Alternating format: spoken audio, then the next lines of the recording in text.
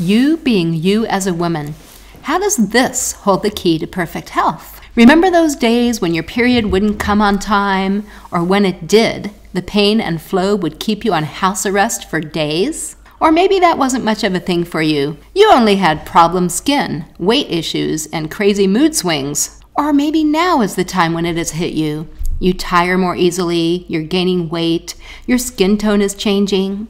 Maybe your hair is falling out, or you're experiencing hot flashes, headaches, and, of course, something we women have long been associated with you're anxious, depressed, and low in self confidence. And yet, you haven't realized that it has anything to do with you being you as a woman. What does that mean, you being you as a woman? Before we explain to you what we mean by this, you need to consider the following symptoms. Do you experience irregular, heavy, scanty, or painful menses or PMS? Do you experience other symptoms such as deep dryness of the body, vascular changes, headaches, or irregular heartbeat, changes in the tone of skin or muscles, weight gain, loss of bone density or thinning hair, anxiety, hot flashes, vaginal dryness, or loss of libido. If you are facing any of the symptoms just mentioned, or if you are a woman who recognizes the importance of creating balance today to maintain your health for a lifetime, it is vital that you listen to this real life experience of a woman who fought medical apathy, questioned limiting medical opinions, and opened the doors of hope and health to thousands of people across the globe a recipient of the Charaka Award for Excellence in Ayurvedic Teaching, with the honorable title Ayurveda Charya, respected teacher of Ayurveda. We're talking about Mary Thompson, a founding member and former secretary of the California Association of Ayurvedic Medicine. Mary Thompson graduated from the very first class of the California College of Ayurveda in 1997.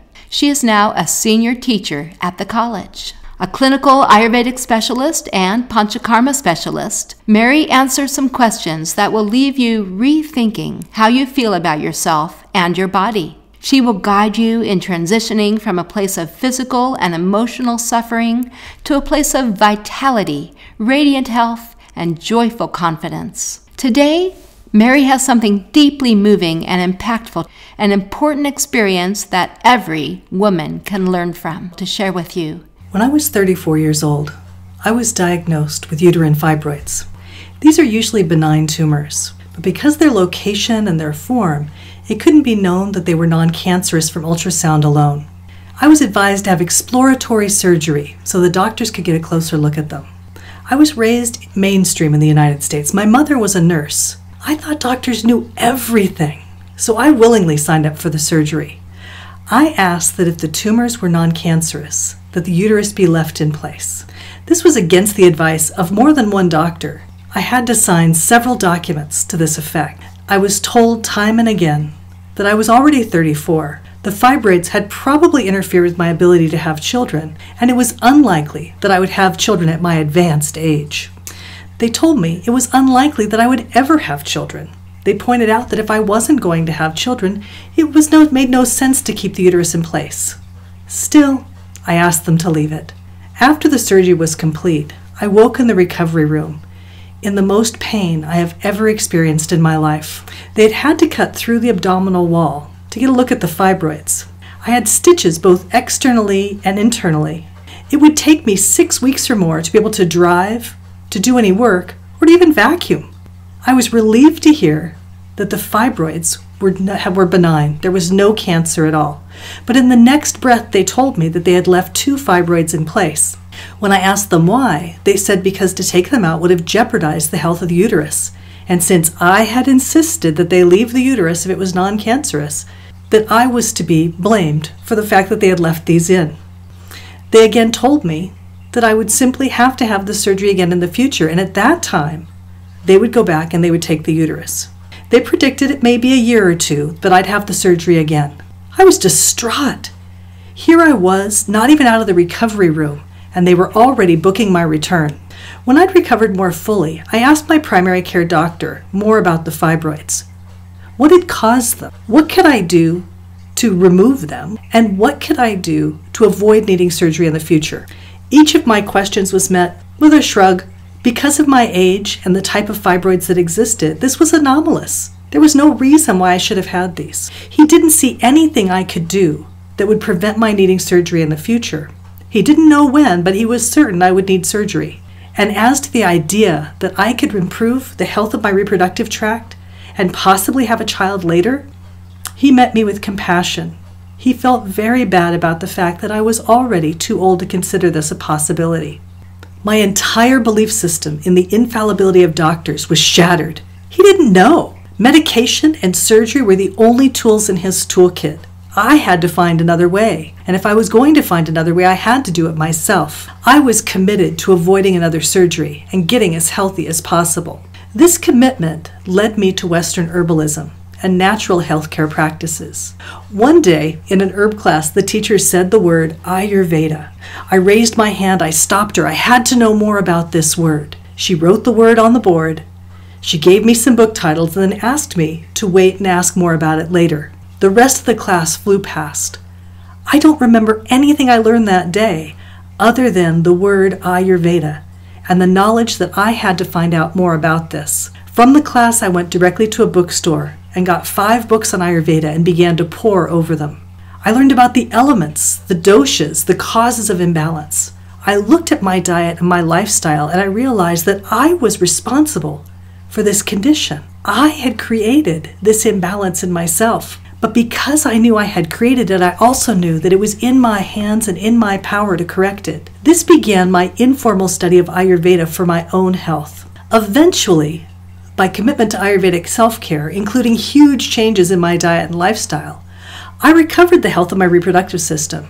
After being told at the age of 34 that conception was unlikely, I gave birth to my son when I was 43. He was born at home with my family and friends around in a drug free birth. I believe and I know that we have the opportunity in every moment to choose greater health and happiness or to turn away from it. I believe that each person has the ability and the responsibility to know the self and to make choices for their physical, mental, and emotional benefit. And what can you do to really take responsibility for yourself? I have seen Ayurveda transform my own life in the recovery of my reproductive system and the birth of my son. This was for me the hallmark of Ayurveda's effect. Beyond my physical health, the deepening of my understanding of the self helped me to develop greater compassion for others. I healed from old and deep emotional wounds by moving to more clarity and acceptance using Ayurvedic psychology.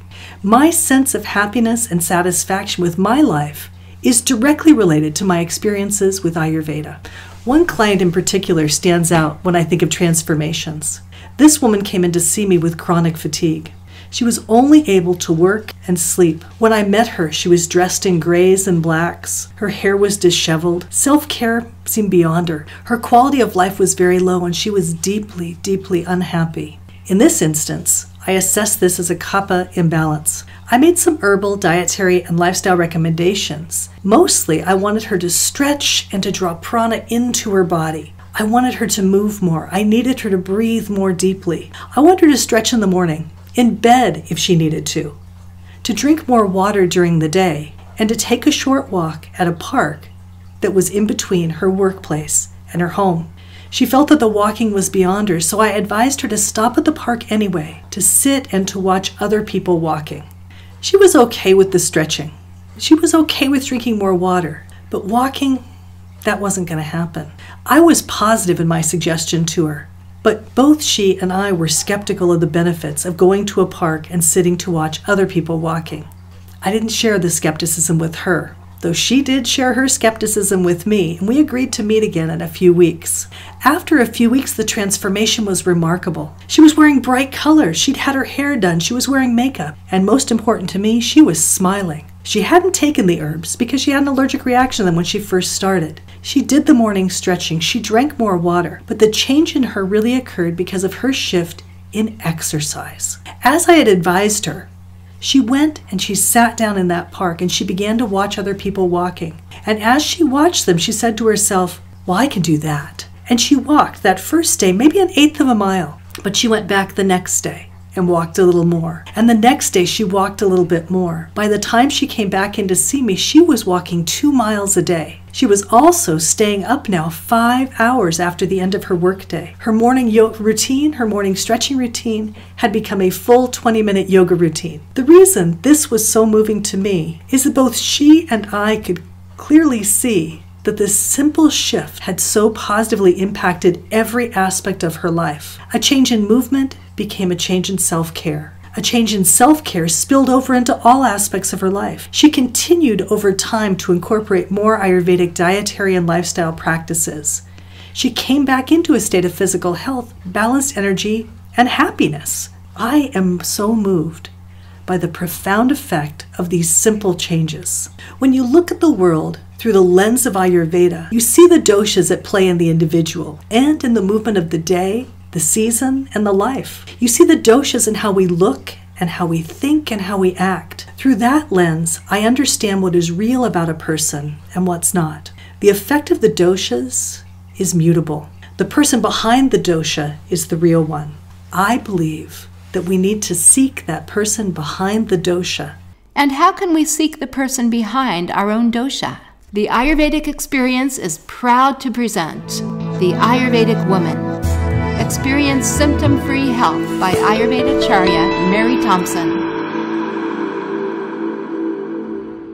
A high definition program in three parts. The Ayurvedic Woman is the complete Ayurvedic guide to health issues particular to women that will guide those of you in your younger years to enjoy radiant years of acne free, PMS free, energetic, productive life with all five signs of good health. It will show you the way to get rid of the fearful symptoms of painful nights, embarrassing hot flashes, uncomfortable sweating, hard to manage bleeding irregularities, weakness, fatigue, depression, or mood swings. If you're in your later years, it will enable a comfortable, confidence boosting transition into the next phase of your life. Enter into a stage of grace, ease, sexual freedom, and new, wholesome self discovery.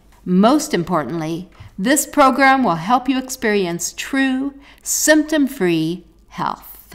Before we tell you more about this course, we want you to know what Mary said when we asked her what motivated her to teach Ayurveda, to create this course, and to share her experience with the world. She said, I want to educate and empower women to take charge of their reproductive health. Every month, we have the opportunity to assess how we're managing the stress of our body and to get a glimpse into the impact of stress. Through education, we learn the language of the body. We can interpret our regularity of menses and the quality of the menstrual flow to understand the impact of the doshas on the body. Without this education, we may think that an imbalance is normal, or we may seek treatment that will relieve the symptom but will not eradicate the cause. I believe we have the power in our hands to eliminate the causes of reproductive challenges. And I want to share that knowledge to give women that power to improve their overall health and to improve their lives. In looking at menopause, I want to advocate for women to consider self care prior to menopause. By learning the effect of the hormones, we can apply practices to support balance when those hormones are no longer being produced. I want to educate and advocate for women to use natural treatments to alleviate symptoms they may experience prior to or during menopause so that they can have control over their mental and physical health. Life can be very long after menopause, and it's best if those years can be symptom free, not driven by the symptoms of menopause. Your health is in your hands. This course is designed to give practical dietary and lifestyle recommendations to all women so that women can apply these to their lives today to create better health now and in the future. Having seen the effects of Ayurvedic principles on myself in regulation of the menstrual cycle, elimination of symptoms of PMS, elimination of cramping and extreme menstrual discomfort. I've dealt with the recovery of the health of my reproductive system after dire warnings from doctors. And having gone through menopause smoothly, I feel qualified and obligated to share these principles with as many women as possible. This program contains three parts. Part one is titled Introduction to Ayurveda. In this section, Mary will take you from What is Ayurveda through a comprehensive look at the Ayurvedic view of health and disease to a deep understanding of the doshas and dhatus, giving you the tools you need to have a deep understanding of yourself from the Ayurvedic perspective. Part 2 is titled Applying Ayurvedic Principles to Female Reproductive Health During the Childbearing Years. You'll look at the current state of your menstrual cycle to gain understanding of your overall health. We'll identify the signs of reproductive health and how the quality of the dhatus, or tissues of the body, reflect our health. The doshas are forces that can impact these tissues, and we will explore how vata, pitta, and kapha affect reproductive health. We will then explore balanced menstruation and symptoms of imbalance by discussing the formation of the endometrial lining, the egg, the fats of the body, the hormones, and the debilitating effects of stress. No discussion on women's reproductive health is complete without a discussion on hormones, and we'll explore the effects of the monthly hormonal shifts on women's bodies and minds, as well as what causes hormonal imbalance and how you can better manage your hormone levels. This section ends with a plan to maintain balance all month long, regardless of the dosha pushing you to imbalance. Strategies for pacifying vata, pitta, and kapha will be offered for any woman to employ now to create greater balance in the immediate future. We also explore tips for natural symptomatic relief for PMS, cramping, and irregularities in menstrual flow. In part three, we encourage you to consider how to create a natural change of life by considering the Ayurvedic understanding of menopause and its often related symptoms. We'll begin with a discussion on the physiological impact of menopause and why we experience symptoms before, during, and after menopause we'll look at hormones from the other side of the reproductive years. This part includes an in depth exploration of what causes menopausal symptoms and how to relieve them. It will cover many common menopausal symptoms, including hot flashes, dry skin and vaginal mucosa, vascular changes, loss of skin and muscle tone, weight gain, loss of bone density or thinning of the hair, anxiety, headaches, irregular heartbeat, and even loss of libido. You will receive lifestyle tips and formulas for teas you can make at home to bring you symptomatic relief. We'll end with a comprehensive plan for you to live a full, healthy life after the estrogen is gone. You can watch the program online or download it for viewing when you please, as many times as you please.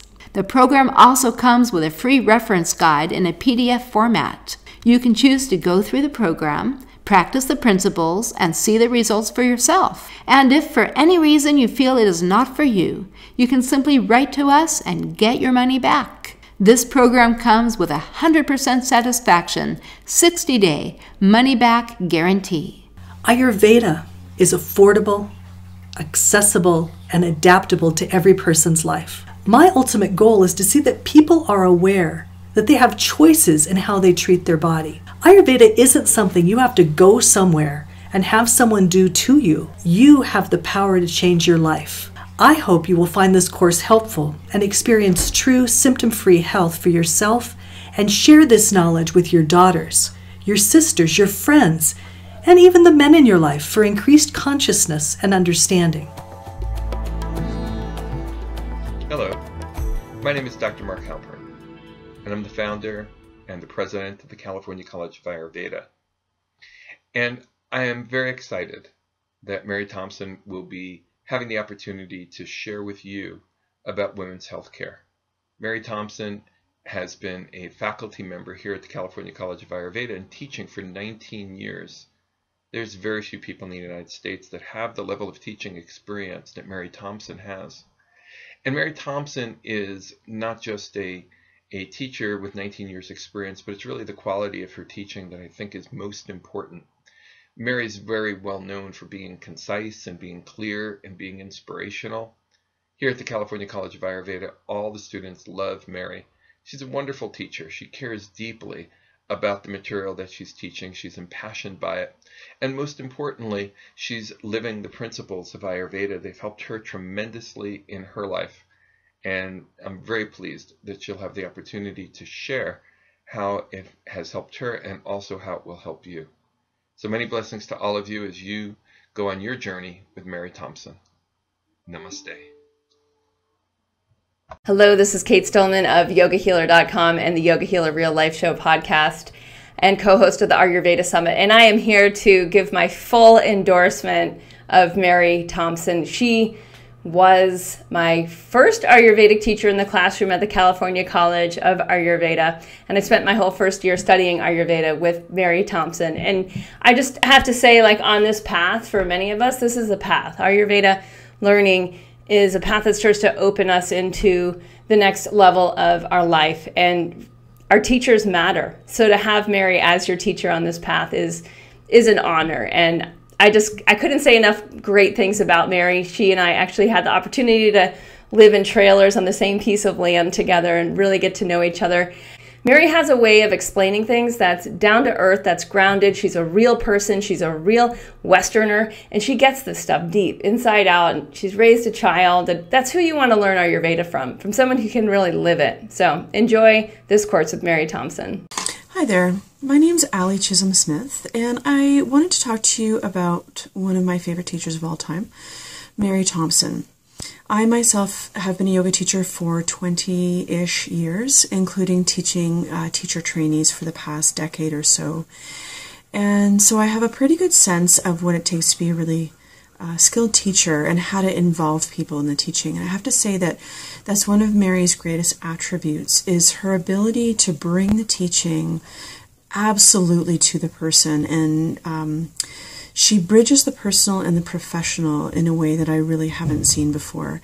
In fact, I mimic her often now in my own teacher training program in saying that nothing is off topic, that everything that is going on for that individual is relevant to Ayurvedic medicine. And that's particularly true when it comes to women's health issues. I have wished uh, frequently and actually asked Mary, begged her, if she would do some videos on her women's health insights because they are really incredible, really tangible um, and different from anything I've heard before. I have quested for those for my own clients and my students. Hi, my name is Carly Bowden. I am a clinical Ayurvedic specialist. I have my private practice, Ancient Heart Ayurveda, and then I teach at several different yoga studios in Colorado Springs, Colorado. I know Mary from studying at the CCA, California College of Ayurveda, and also from private tutoring with her after my graduation. I could never say enough about Mary's teachings. She is genuinely my greatest Ayurvedic teacher. And she brings so much knowledge to the table. And the most powerful thing about Mary's teaching is her ability to really take all of these really big ideas, these really obtuse, etheric ideas, and, and really bring them to the ground and make them understandable and digestible. And she really brings so much accessibility to this knowledge for people in the now, for people in 2015. She makes it really possible and and really easy to blend this really ancient knowledge with our modern lives. Um, there's so many parts of Mary's teachings that are potent that it's hard to pick out just a few. Um, but another another one of her many many strengths is just her ability to answer questions from so many different angles.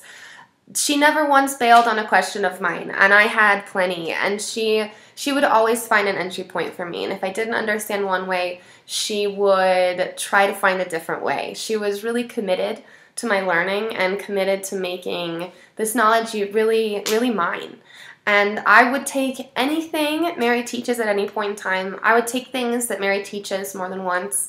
There's just truly truly no greater teacher you could ask for. And I, you know, anyone who gets to study study with her is is genuinely lucky, and I'll always be grateful for for every bit of time that I've gotten with her as her student. Hi, my name is Karen Barbarick, and I graduated as a student of Mary's from the California College of Ayurveda in the year 2000. And I must admit, um, all these years later, Mary is still my favorite teacher. She really brought it to life. Ayurveda, she brought it to life in a, in a way that was almost storytelling in the elements and everything involved with the whole complex science of Ayurveda. Mary somehow had the knack to um, make it very easy almost for the um, preschooler. That's the kind of special teaching I need. So um, here's to Mary and what a wonderful teacher and all of my great memories of that that time of my life. I've been practicing now for over 15 years and I have a business called Bending Blade Yoga and Ayurveda and um, it all started with Mary. Namaste. Hi, my name is Katrina Swoboda Johnson, and I'm the owner of the Ayurvedic Health Center and Wellness Shop, which is located in Bellingham, Washington. I've known Mary Thompson for several years. She was one of my primary instructors when I was a student at the California College of Ayurveda, and I've continued to study with Mary beyond graduation whenever she gives webinars or classes. I have even asked Mary to supervise me with a couple of my clients. I know Mary to be someone who is has a unique combination of innately being a very skilled and adept teacher while also being a very knowledgeable, effective, and studied practitioner. I think we're really lucky to have Mary available as a resource for us in learning Ayurveda. Mary has a unique ability to take pieces of information that seem big and complex, such as pathology, and to break them up into small, easy to understand, easy to digest, but most importantly, easy to work with pieces of information. Please study with Mary whenever you have an opportunity. Thank you. Hi, my name is Linda Rosiak. Mary Thompson is my Ayurvedic practitioner. Mary introduced me to Ayurveda almost probably 20 years ago and really opened my eyes to what natural medicine could be.